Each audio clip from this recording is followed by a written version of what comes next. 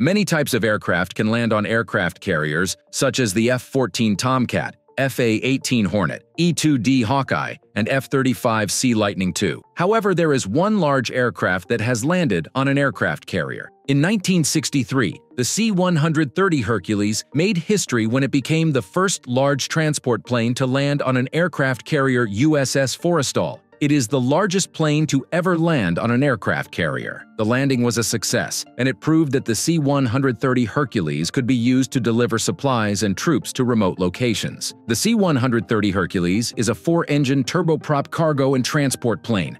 The C-130 Hercules has a wingspan of 132 feet and 7 inches and a length of 97 feet 9 inches. It can carry up to 44,000 pounds of cargo, or 92 combat troops. The C-130 Hercules is still in service today, and it continues to be one of the most important aircraft in the U.S. Air Force.